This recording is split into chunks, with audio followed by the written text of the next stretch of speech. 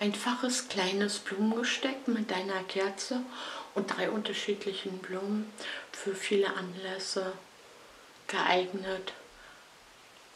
Und wie ihr das machen könnt, zeige ich euch jetzt. Ich verwende die Steckschale und zwar von Oasis Junior in Weiß heißt die. Klar, sie ist weiß. Und äh, der Vorteil ist, man äh, kann diesen Steckschaum auch so nachkaufen oder man kann sich natürlich den Steckschaum auch zurechtschneiden aus dem Viereck und kann die Steckschale immer wieder benutzen. Kommt im Handel, im Blumengeschäft ungefähr oder im Internet könnt ihr natürlich auch kaufen zwischen 2 Euro und 2,50 Euro. Logisch, ich verwende den Nasssteckschaum und lege die äh, Steckmasse wieder rauf aufs Wasser oben, sodass sie sich in Ruhe vollsaugen kann. In der Zwischenzeit äh, bereite ich mir meinen Kerzenhalter, da gibt es unterschiedliche, eben auch von der Firma Oasis, schon mal vor und dekoriere mir den jetzt hier ganz einfach. Und zwar habe ich hier ein Schleifenband, passend zu meinen Blumen und dekoriere mir jetzt mein äh, hier Band jetzt hier rum, indem ich das hier von außen ganz einfach gegenklebe, so dass das dann eben halt auch richtig schön passt und nochmal hübsch aussieht. Dann kann ich meine Steckmatte schon wieder reintun. Und klar gucke ich jetzt hier, okay, wie weit geht das runter und stelle fest, dass ich jetzt hier meinen Kerzenhalter, diese Plastik ein ganz kleines bisschen kürzen kann.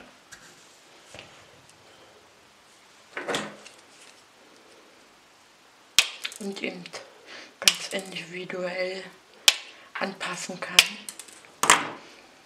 Ich kann jetzt meinen Kerzenhalter nehmen und kann den richtig schön mittig platzieren und nehme meine Stabkerze, also die ist ja jetzt bekannt unter Leuchterkerze, Stabkerze, Tischkerze und was für Namen gibt es die noch? äh, Spritzkerze gibt es die im Internet zu kaufen oder eben auch bei den Discountern oder Blumenläden. Und kann die jetzt hier super einfügen. Und die hat jetzt hier durch den Rand einen richtig schönen Halt. Ihr seht, jetzt kommt hier richtig gut schönes Wasser hoch. Und kann jetzt ganz einfach anfangen, eben auch mein kleines Gesteck zu dekorieren besorgt habe ich mir eine Gerbera, eine Chrysantheme, eine Orchidee, die Wanda und zwei Blatt, zwei Stiele vom Salal.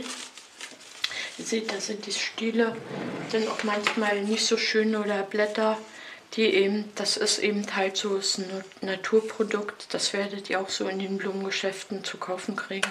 Die macht man dann einfach ab und kann sich die Salbeiblätter super zuschneiden, indem dass man jetzt hier drüber schneidet.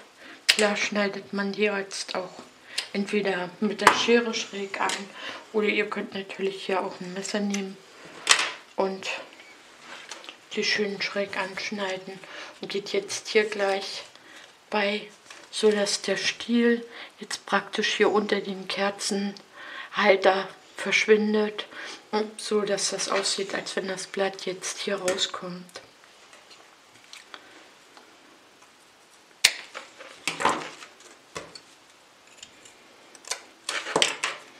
Geht jetzt hier auch rüber, dass ihr mehrere Blätter, also drei Blätter, so, wenn schön ist es natürlich in unterschiedlichen Größen die so übereinander steckt.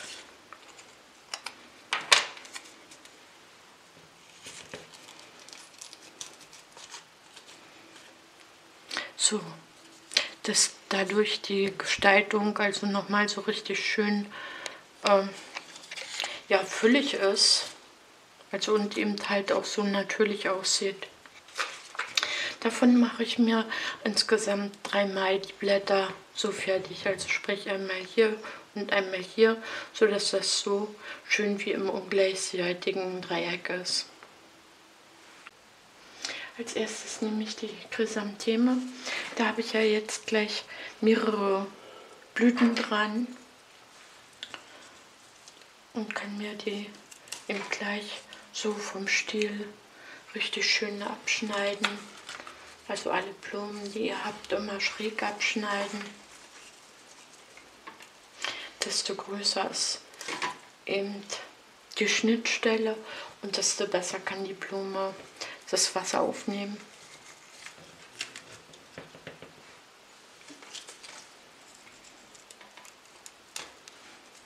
Die kann ich auch wieder eben so schön staffeln.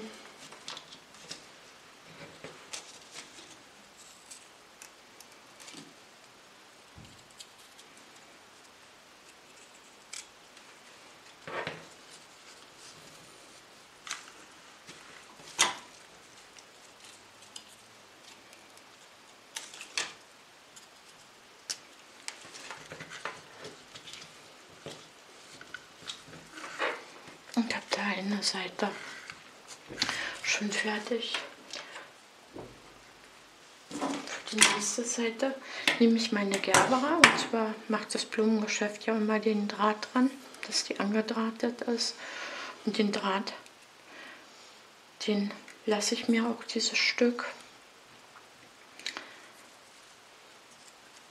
dass ich dann einfach hier oben das bloß so kurze den und biege das hoch und kann die Gabra gerade abschneiden. Und nehme jetzt einen Stiel, weil die Gabra, die ist ja weich im Stiel. Und deshalb nehme ich jetzt hier ganz einfach einen Stiel von meinem Salai und pieke mir das Löchlein für die Gabra vor.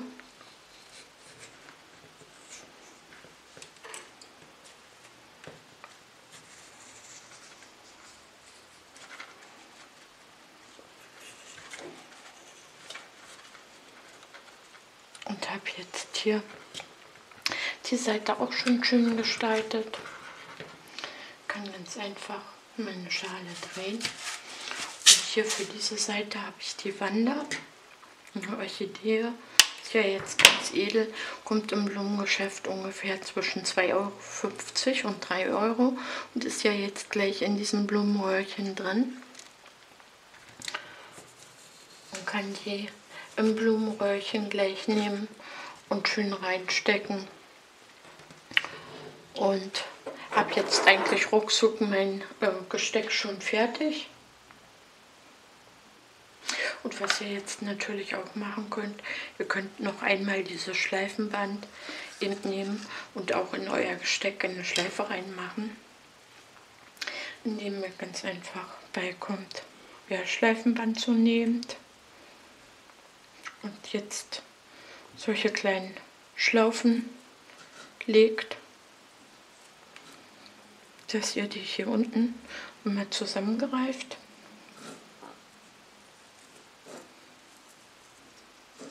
Schön finde ich immer fünf Schlaufen.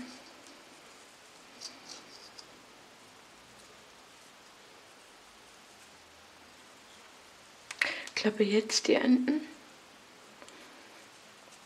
auch hoch und nehme meinen Draht. Und zwar nehme ich jetzt hier den grün lackierten Draht und wickel den zweimal so rum, biege das Ende nach unten, wickel nochmal rum und kann mein Draht kneifen mein Schleifenband auch noch kürzen. Und habe jetzt eine richtig schöne kleine Schleife. Das ist jetzt schön, wenn ihr Schleifen habt, die jetzt zum Beispiel zu euren Servietten passen oder wenn es jetzt die Hochzeit für eine Hochzeit ist, wo ihr jetzt mehrere solche Gestecke macht und die in Reihe stellt, zum Beispiel, dass man da mit Stoff und mit Farben nochmal so richtig kombinieren und spielen kann und kann richtig gut diese Hafte jetzt hier reinstecken und hat nochmal was Verspieltes. Das ist jetzt so ein Gesteck, was eben mit einer Kerze, was ganz, ganz einfach selber zu machen ist, wo die Kerze jetzt natürlich auch richtig schön auswechselbar ist, wo man gleich beikommen kann und kann sich jetzt äh, zum Beispiel Tafelkerzen in so einer Packung gibt es die für 25 Stück bestellen und äh, ja, es ist ein ideales kleines Gesteck äh, für Fest. Der Muttertag steht ja jetzt gerade an und natürlich eben als Muttertagsgeschenk. Das ist natürlich auch eine richtig schöne Sache. Wenn euch das Video gefallen hat, gebt dem Video ein Däumchen hoch oder über Fragen oder oder in den Kommentaren freue ich mich natürlich immer sehr und beantworte die euch auch natürlich. Ich wünsche euch viel Spaß beim Video und beim selber mal auszuprobieren.